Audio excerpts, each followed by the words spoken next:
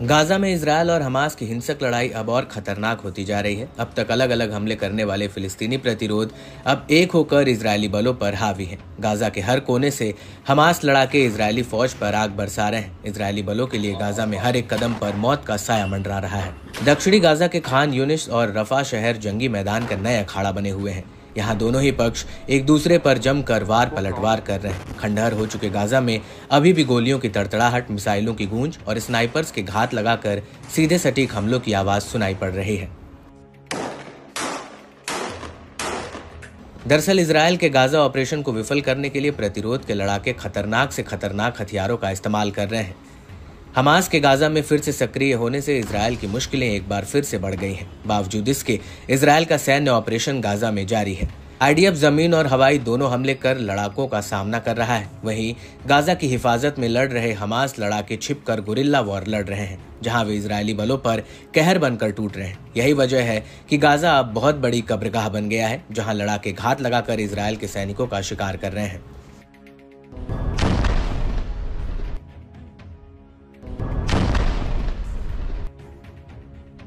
इस कड़ी में एक बार फिर हमास लड़ाकों ने मिलकर किए जोरदार हमले में इसराइल को बहुत बड़ा झटका दिया है।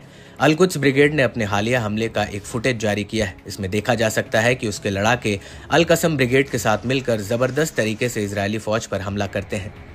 ब्रिगेड के ज्वाइंट ऑपरेशन में यह हमला दक्षिणी गाजा के रफा शहर के पश्चिम में तेल अल सुल्तान पड़ोस में एक इसराइली टैंक पर किया गया।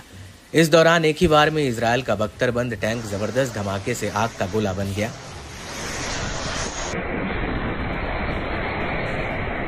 इसके अलावा अलकुद्स ने दावा किया कि उसके लड़ाकों और अलकसम ने अबू अयाश के जंक्शन पर एक टैंक जैसा मरकबा पौज को भी निशाना बनाकर तबाह किया। इस खतरनाक हमले का एक वीडियो भी जारी हुआ है, इसमें लड़ाकों के बारूद हथियार ले जाते हुए देखा जा सकता है। टूटी फूटी संकरे रस्ते से गुजरते हुए एक लड़ाके एक खाली खंडहर मकान में दाखिल होते हैं, जहाँ वह पास में खड़े इजरायली टैंक को निशाना बनाते हैं। ऐसा दावा है कि इस हमले से इसराइल को अपने गाजा ऑपरेशन में जोरदार झटका लगा है। फुटेज में दिखाया गया है कि दो इजरायली टैंक को बेहद नज़दीक से उड़ाने की तैयारी करते हैं। बारूदी हथियार को तैनात करने के बाद दोनों लड़ाकों में इजरायली टैंक को उड़ाने के लिए बटन दबाने की होड़ देखी गई। वीडियो में देखा जा सकता है कि दोनों लड़ाके एक दूसरे को ये कहते हुए सुने जा सकते हैं कि हम बटन दबाएँगे। हालाँकि आखिर में दोनों एक साठ बटन दबाने के लिए सहमत हो जाते हैं।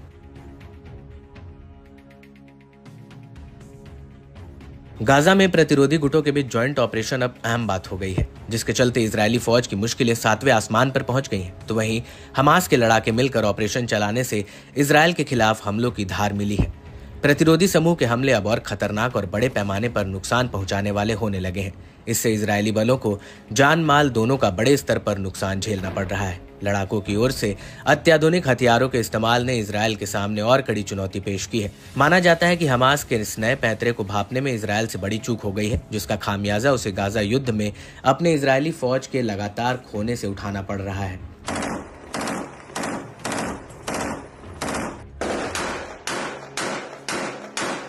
वहीं हमास की सबसे खूंखार मिलिट्री विंग अल कसम ब्रिगेड ने भी इजरायली बलों के उबलते जोश को ठंडा कर दिया।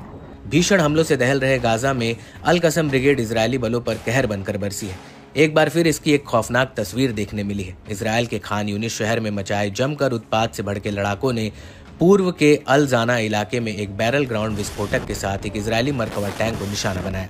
इतना ही नहीं इसराइली खेमे में खलबनी मचाने वाले अलकसम ब्रिगेड ने जलाटा में इसराइली फौज के होश उड़ा दिए। दरअसल इसराइली सेना मरकवा टैंक में सवार होकर आगे बढ़ रही थी। इस दौरान घात लगाए लड़ाकों ने अलियासीन 105 शेल से सटीक और जोरदार वार किया, जिसकी जद में आया टैंक ब्लास्ट से धू धू कर जलने लगा।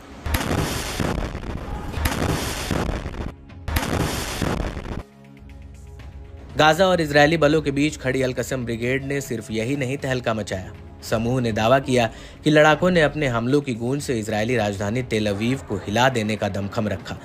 ब्रिगेड ने इजरायली कार्रवाई का मुंहतोड़ जवाब देते हुए तेल अवीव और उनके उपनगरों पर दो एम नाइन्टी रॉकेट से बमबारी की।